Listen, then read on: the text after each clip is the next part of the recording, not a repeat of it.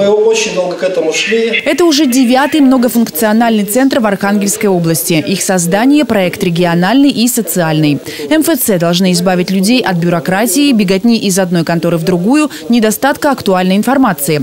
В этом центре котлашане смогут получить более 60 государственных, региональных и муниципальных услуг. Например, из федеральных это услуги э, Росреестра, связанные с организацией, с регистрацией прав на недвижимость, э, кадастровый учет, услуги пенсионного фонда, налоговой службы, услуги миграционного оформления э, паспорта гражданина Российской Федерации и загранпаспорта.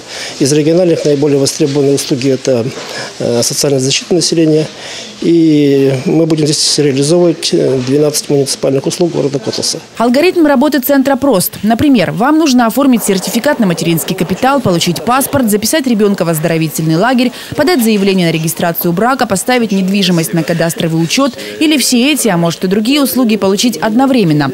Для начала вы регистрируетесь в электронной очереди. Он выбирает, непосредственно выходит талон, он садится, ожидает своей очереди и потом проходит в зал приема. Затем проходите в зал ожидания. На уютных диванах не более 10-15 минут ждете, когда вас примет специалист. Сдаете ему документы, необходимые для получения конкретной услуги, а потом приходите в назначенный день и забираете уже готовые бумаги. Взаимодействие с органом, предоставляющим государственные, региональные или муниципальные услуги, осуществляется многофункциональным центром без участия заявителя. Небольшой пример. Решили вы построить дом. Начинаете вы с чего? С приобретения земельного участка.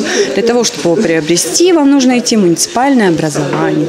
Для того, чтобы не идти в муниципальное образование, на кадастровую палату и так далее. Вы можете прийти сюда и все это заявление подать у нас в одном окне. Коллектив отделения МФЦ в Котласе женский. Прежде чем стать универсальными специалистами, девушки прошли отбор и длительное обучение. Так что они умеют работать и с заявителями, и всевозможными документами. В день без очередей они смогут принимать около 300 жителей города. Они прошли обучение э, лекционного характера и практического. То есть мы выходили на, в органы власти, в органы государственной власти, регионального э, уровня, федерального уровня и муниципальные органы власти. Там мы раб, учились работать с документами, с заявителями. Кроме того, наших э, специалистов учили стрессоустойчивости. Многофункциональный центр в Котласе находится на Орджоникидзе-30. Он несет не только социальную нагрузку, но еще и поможет сократить очереди в других учреждениях города, в том числе в муниципальных. Потому власти Котласа готовы к плодотворному сотрудничеству с региональным центром. Так, на церемонии его открытия глава города Андрей Бралин рассказал, что аренда за пользование помещением будет льготной.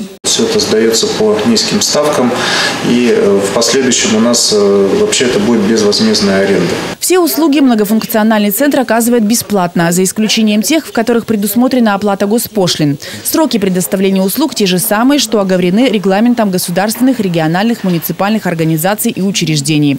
Также специалисты центра будут выезжать для приема документов в Котловский район и поселок Вычегодский.